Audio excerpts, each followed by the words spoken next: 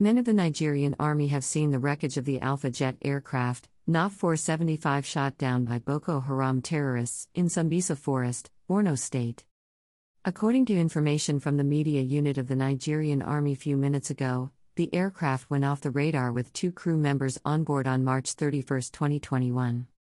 The Army said the aircraft crashed on clearance patrol, while information earlier gathered indicated that the aircraft was shot down by the Boko Haram terrorists in Sambisa Forest. Breaking Troops of Operation Desert Sanity on clearance patrol in Sambisa Forest, Borno State, have uncovered the wreckage of crashed Alpha Jet aircraft, NAF 475, that went off the radar with two crew members on March 31, 2021. Further exploitation ongoing, the Army statement reads.